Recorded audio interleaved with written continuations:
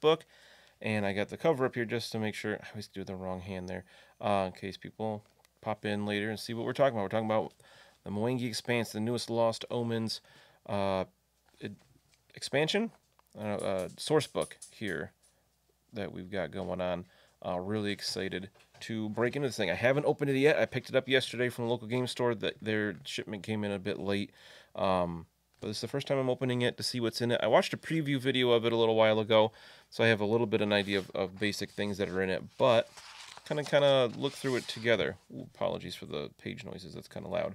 All right, so table of contents. we got Reclaiming the Expanse, the history, makes sense, people of the Mwangi, a bunch of different um, cultures, and then some ancestries. We have uh, Anadi, Conrasu, Gnoll, love Gnolls, uh, Goloma, Grippli, Shisk, and other people. Very cool. Uh, a bit about religion. Looks like different gods of the Mwangi, which looks really cool. Geography, all about different areas.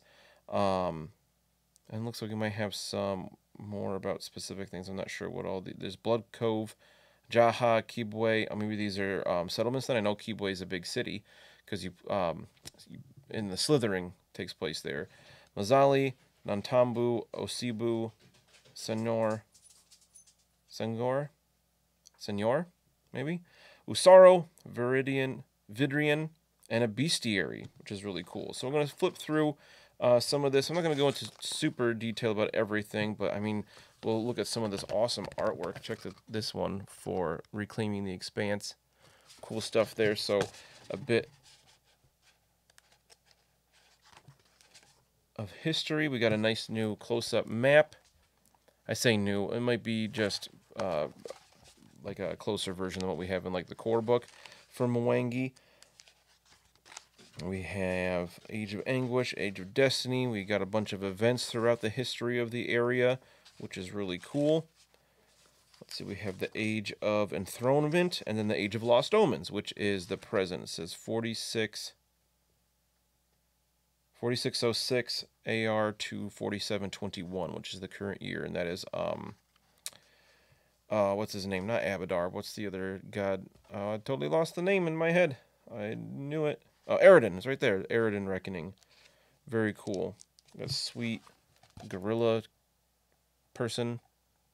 Love the art. The artwork for Pathfinder 2 has been stellar.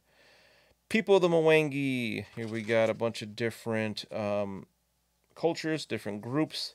The Bekyar, the Bonuwat, Caldaru,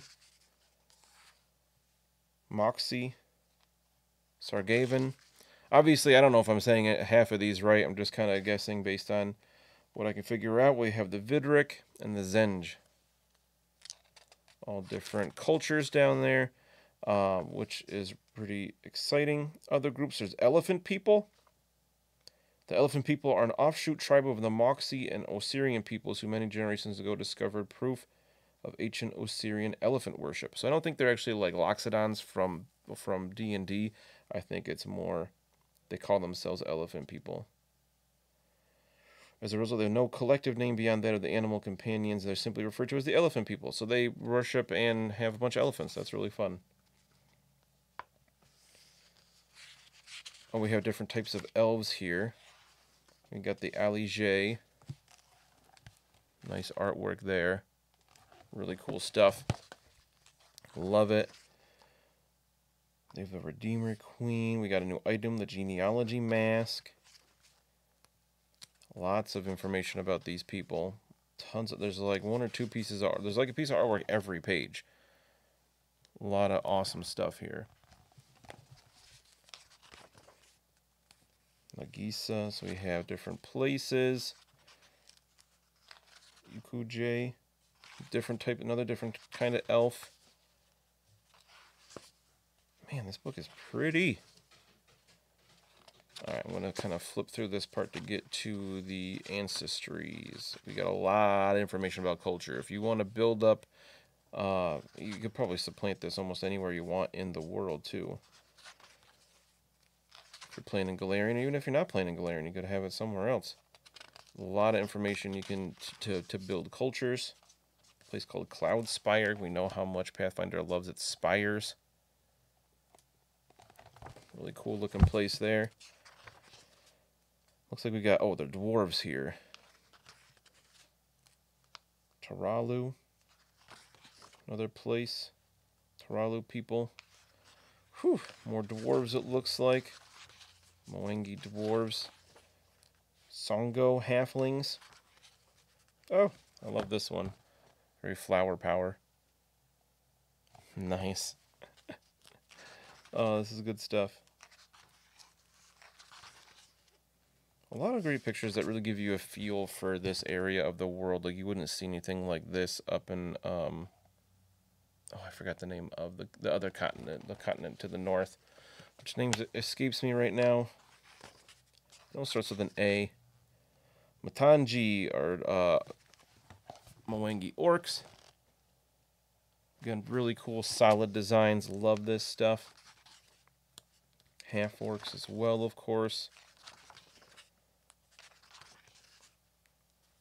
They have some NPCs. Uh, okay, so here we are to the ancestries. We have Anadi. Anadi are reclusive sapient spiders who hail from the jungles of southern Gar- Garund. Though they act in many ways like natural born shapeshifters, their twin forms actually stem from carefully developed magic. Spider people, medium sized spider people. This is the Anadi, which is super cool. He's holding a scarf there, he or she. Let's see, hit points 8, size medium, speed 25, pretty basic. Ability boost, dexterity, wisdom free, but they get a ability flaw to constitution. Oof. Languages, Anadi, Mwangi, other things. Of course, based on your intelligence modifier. They have a change shape action. You can change your hum- you can change into your human or spider shape. Each shape has a specific persistent appearance. In your human shape, you can't use unarmed attacks granted by your ancestry. In your spider shape, you aren't flat footed when climbing, but you can't use weapons, shields, or other held items of any sort, nor can you take any action that has a manipulate trait. so that's kind of awesome. You just change back and forth to a medium sized spider. You were born with natural means of hunting and self defense. You gain a Fangs unarmed attack that deals d6 piercing damage. Your Fangs are in the brawling group and have the finesse and unarmed traits. Obviously, not while you're in your humanoid form. Cool. Fun, fun, fun. So, if you ever read The Anansi Boys by Neil Gaiman, it's kind of like Spider, their, their dad. What is going on here? We have the Conrasu. Conrasus are shards of cosmic force given consciousness who construct intricate exoskeletons to interfere with the mortal world, both an integral part of the underlying process processes of the universe and strangely set apart. Conrasus look to aeons to understand their existence. So we have a construct here. That is a really cool thing. So that's really interesting. So they kind of build themselves Wow, crazy. Hit points 10, size medium, speed 25, ability boost with constitution, wisdom, and free, ability flaw to charisma. And then they have some language uh, traits. Uh, so sunlight healing, interesting. The Conrasu can enter a meditative healing state as a 10 minute activity when exposed to direct sunlight, in which they recover d8 hit points. At third level and every two levels thereafter, this healing increases by 1d8. Once a Conrasu has recovered hit points in this way, they are temporarily immune to further uses of sunlight healing for one day. Really cool. They could just heal themselves in the sunlight once a day. That's really neat. There says a physical description the true form of Conrasu is an abstract chunk of spiritual essence. While their being exists beyond the truth of humanoid senses to the mortal eye, their body usually resembles a globe of light, darkness, or space floating eternal pinpricks of illumination set inside the ball. These cores surround themselves with bodies made out of still living wood, creating that form that most people recognize as Conrasus. Really neat. So the whole body thing, they just manipulate around them. Some other ways they build themselves. And we have like a almost spider looking one. They can take whatever shape they want. That's really neat. And we have gnolls. This is what I was looking forward to. Powerfully built humanoids that resemble hyenas. Gnolls are cunning warriors and hunters. Their frightening visage and efficient tactics have given them an ill-starred reputation. So gnolls look pretty much like you see gnolls have, you know, for a long time in different D&D type games. Uh, hyena people. They have 8 hit points, size medium, speed 25, ability boost, strength, intelligence, and free. Interesting to get intelligence. I like that. A bit different than other other places we see them usually. Uh, an ability flaw and wisdom. Languages, common and null, and other languages. Of course, they get a bite attack, d6 piercing damage, and low light vision. So nothing crazy there. They don't have any bonkers abilities or anything, of course. You can be an ant gnoll, a great gnoll. Ant gnoll, so the um, ant gnoll is actually small instead of medium. They get trained in deception. Sensomotor checks no cover. Okay. A great gnoll. You can be a large, powerful gnoll. You get 10 hit points instead of 8 and gain plus 1 circumstance to athletics checks to trip and shove foes. That's what I would do. That sounds awesome. They're real big. Then we have a sweet breath gnoll. What?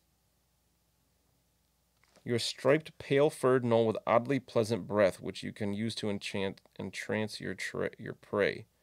You are trained in diplomacy or another skill if you're already trained in diplomacy, and you gain a plus one circumstance bonus to make a make an impression if the target can smell your breath. What? Oh my god, that's hilarious! I love it. Oh, here's a little ant gnoll. My gosh, it's cute. And then we have a different kind of gnoll over here. I love these things. I don't know. I always found gnolls very interesting. Witch gnoll Cast Ghost Sound cantrip as an innate spell and gain plus one circumstance bonus to checks to impersonate and create diversion when using your voice. Neat. And then we have the Goloma. This one sounds. I'd never heard of these before. Golomas fear most other people and deliberately use their unusual biology to frighten off those they consider to be dangerous predators. Rarely seen and poorly understood, Goloma's many eyed and wooden faced vis- visages instill terror in most they meet. Huh. I'll show this picture before we talk more about these Goloma. Cool stuff. Almost look horseish. They don't have hooves though. They got like more like paws. Says though just as capable as being dangerous as any intelligent creature in Golarion, Golomas have a deep-rooted psychological understanding that they are prey and they are two and that all two-eyed people are predators. Hmm. As a result, Golomas rarely reveal themselves to others, and when they do, they often adopt threatening personas as a mean to protect themselves. Even though these, even those, even those few Golomas who venture out into greater, greater Mwangi society often have trouble relating to other ancestries due to the strong differences in perception and mindset. So they are kind of horse-like ish, kind of like a like an antelope. Like they're always the prey. They always get eaten, so they have to really lash out in order to to not seem to, to be threatening so they don't get eaten, I guess. Hit points 8, size medium, size, speed 30, ability boost, wisdom, and free. And then eyes and back. You have eyes that point in several different directions and instinctively notice movement in the peripheries of your vision. When you use the seek basic action, you can look for creatures in two areas instead of one. If precision is necessary, you can select two 30 foot cones or 15 foot bursts within line of sight instead of one. Interesting. So they're really good at seeing around them. You can get low light vision as a farsight Goloma or frightful Goloma.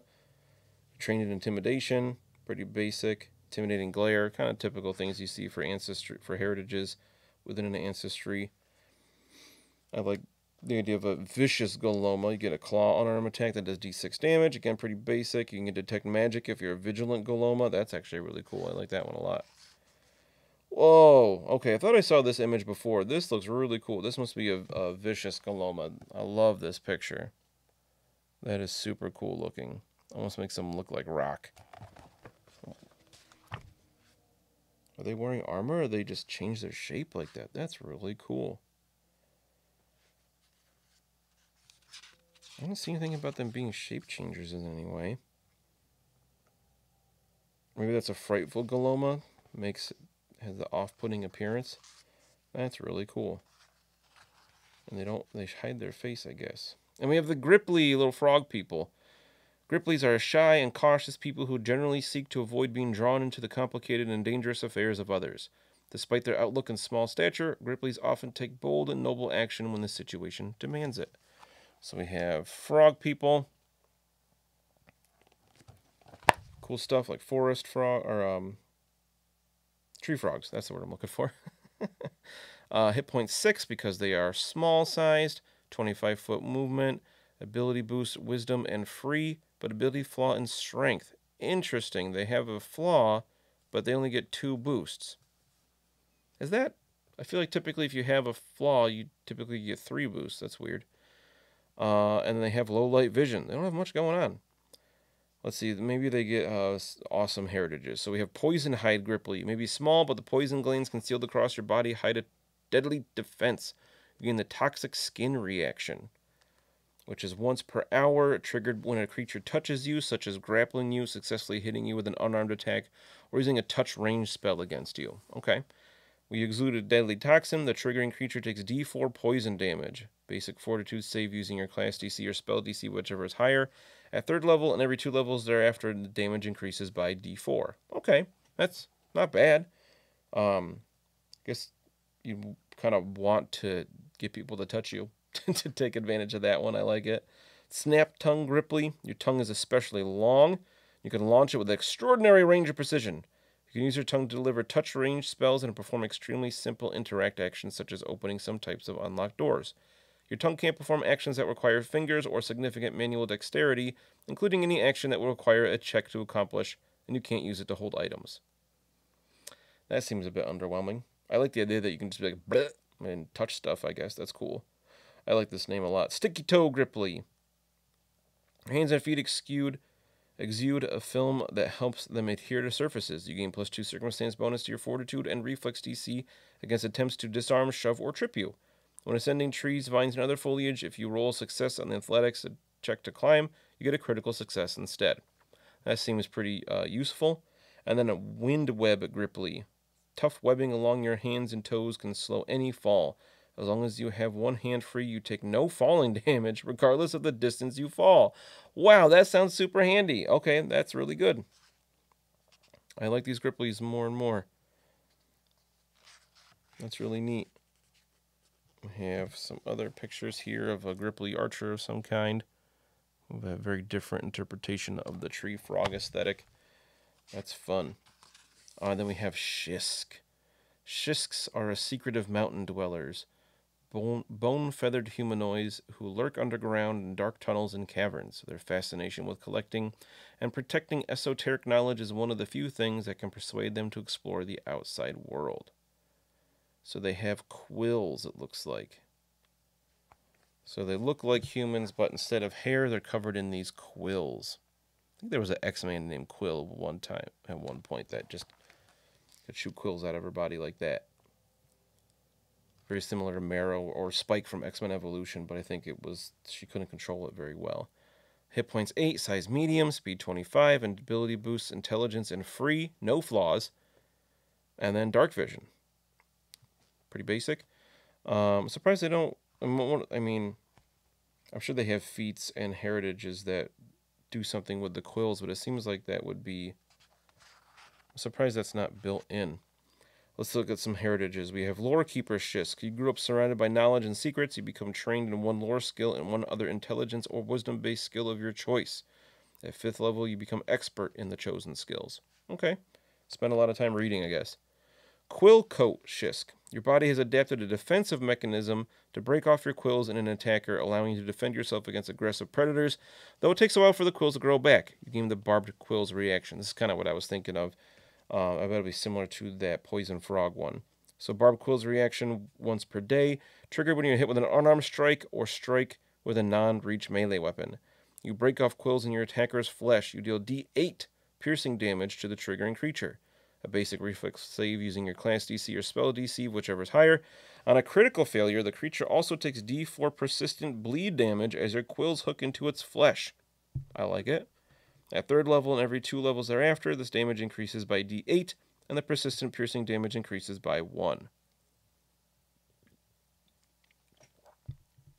Interesting. It says it takes a while for the quills to grow back because you can only use it once a day. I guess that's what they mean there. So it takes a day for that to grow back. Spellkeeper Shisk. Your magical knowledge allows you to cast simple spells. Choose occult or primal. You gain one cantrip. You can cast this as an innate spell at will. As a spell of your chosen tradition, a cantrip is heightened to spell level equal to half your level rounded up. That's super handy. Uh, having any type of just free spell stuff is nice. Uh, cantrips are so good in this game that, that that's fantastic. And then a strong gut Shisk. Well, there's one more after that. Your metabolism is slow, allowing you to go for days without food and pro- process melodies at a slower rate. Slower rate. You can go one week without food before you begin to starve. Additionally, the onset times and lengths of the stages of all diseases and poisons after they that affect you are increased by 50%. If the onset time or stage is instant and only lasts one round, this ability has no effect. Pretty cool. That's kind of a neat one. I like that. And then Stone Step Shisk. Navigating mountains and other rocky terrain is second nature to you. You can ignore all you can ignore non-magical difficult terrain caused by rubble and uneven ground made of stone and earth. Yeah, pretty basic, but not bad. Another image of a Shisk playing a xylophone. Pretty cool. All right, then we have other peoples that don't have rules, but just other people that would live in the Mwangi Expanse. So we have the Biloko, carnivore, carnivorous Fae. We have Boggards, which I think are kind of like frogish people. Cat folk. Oh yeah, we have pictures over here. Oh, the Biloko. That's a cool image. Up here. They almost look reptilian. They look like nasty kobolds. Yeah, boggards are for like nasty frog people. They have the charuaka, uh, like mandrills. They look like big baboons. Uh, lizard folk, of course. We have kava. No picture of a kava. Uh, kobolds live here, of course. Leshies, lots of them. Lizard folk, naturally. M- Mbike. Planar scions, Sabosins, serpent folk. Nice. Um, here on to our chapter about religion. A little bit about different gods of the Mwangi. Set up just like um, the Gods and Magic book. A couple here. I won't go into too much detail here. Um, I'll show off particularly cool looking ones. The World Shaker, the Golden Lion, Chohar, Grandmother Spider, Kalekot, which looks really cool. There's grandmother spider. She's got a bunch of arms. Kalekot. Um, that's how I'm going to pronounce it. At least he's really cool looking. Spooky face. Chaotic neutral. Interesting. Baiko. Another chaotic neutral. Luhar, the setting sun. Looks like a Lamia that's like jet black, except for uh, its eyes and some jewelry. That's cool looking. That is a lawful neutral. God, we have. Ugh. Do we want to try that? It's like a haired serpent. Neutral good. Mother of hearth and wall. We have Tlehar, the rising sun. Looks like a catfolk god with a cool mor morning star. Hard to hold up this book sometimes with all this stuff in the way. Oh, we have a cool the diamond ring like a giant serpent in the clouds. Uvuko? Uvuko? That's really cool looking there. Walkena, the God King, awful evil. Other religions talking about how the other typical gods of Golarion are here. Desna, Gozreh, the Green Faith, Lamashtu, stuff like that. And we have our geography chapter with a really cool picture with our advanced player's guide careers. We got investi- the investigator and swashbuckler iconics. So names I don't remember. so a bit about what it's like here. The climate, different uh, areas.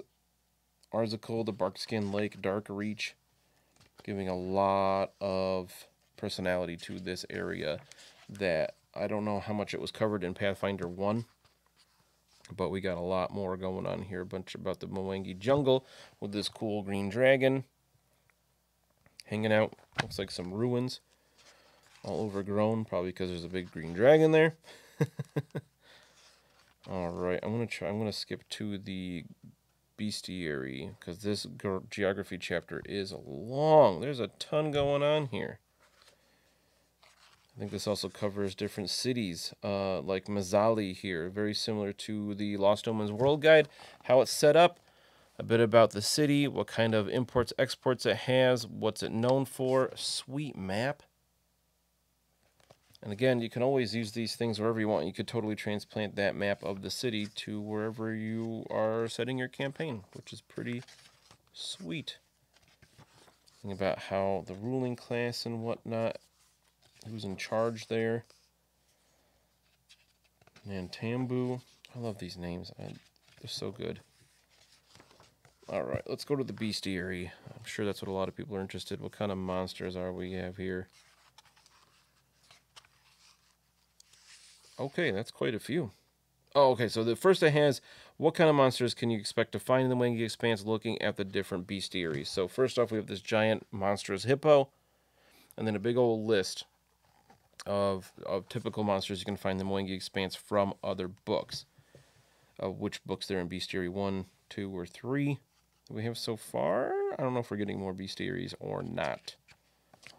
Well, we have some new things. An Anadi, Anadi Hunter. Interesting. They look like they're midway through their spider and human shape here.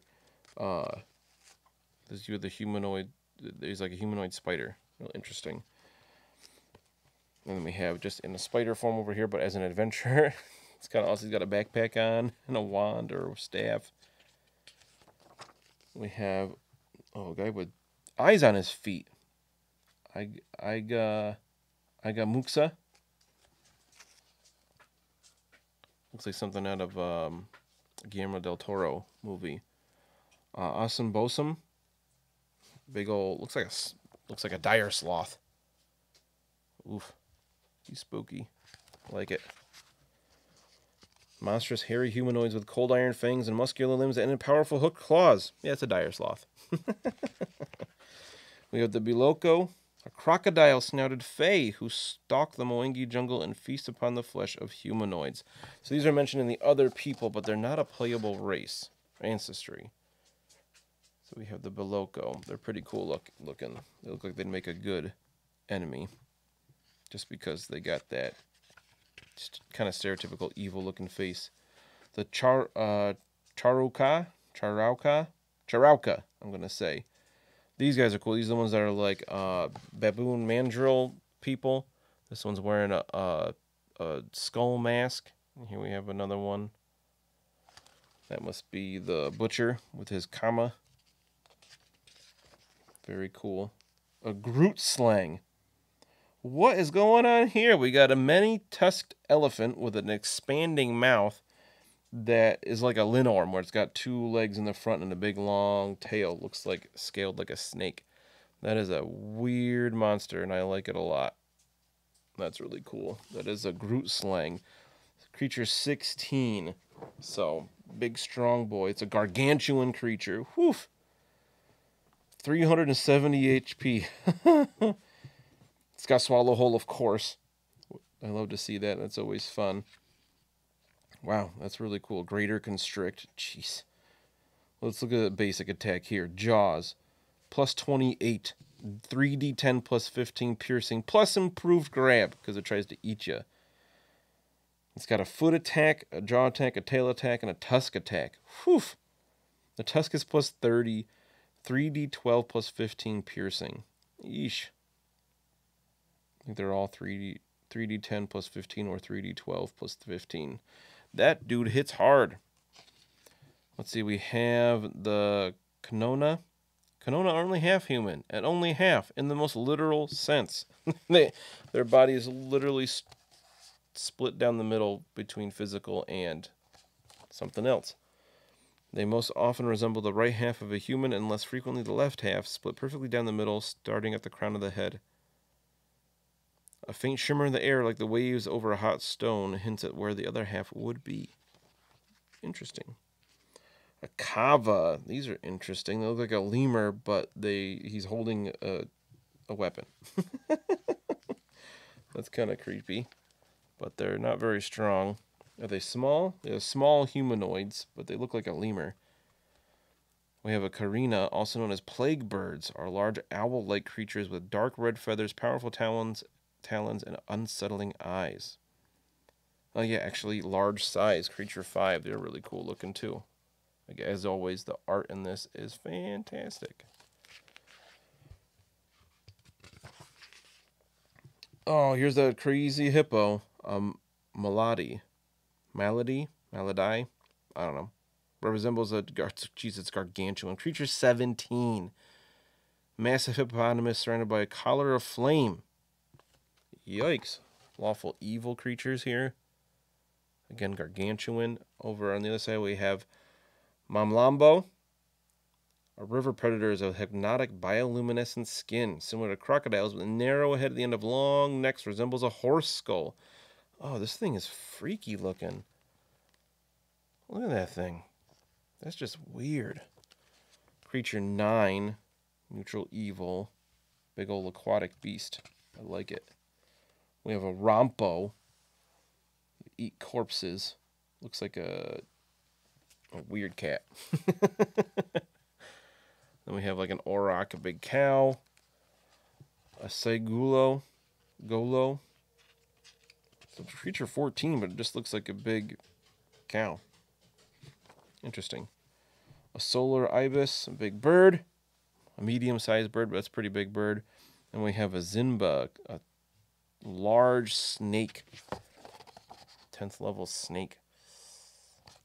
Pretty cool. I like the colors on him. Does he have swallow hole too? Yup.